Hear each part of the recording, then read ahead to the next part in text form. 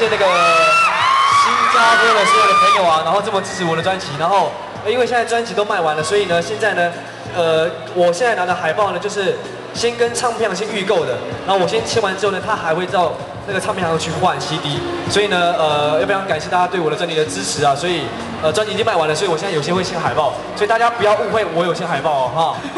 这是他们预购的海报，是，谢谢小拍，OK 可以。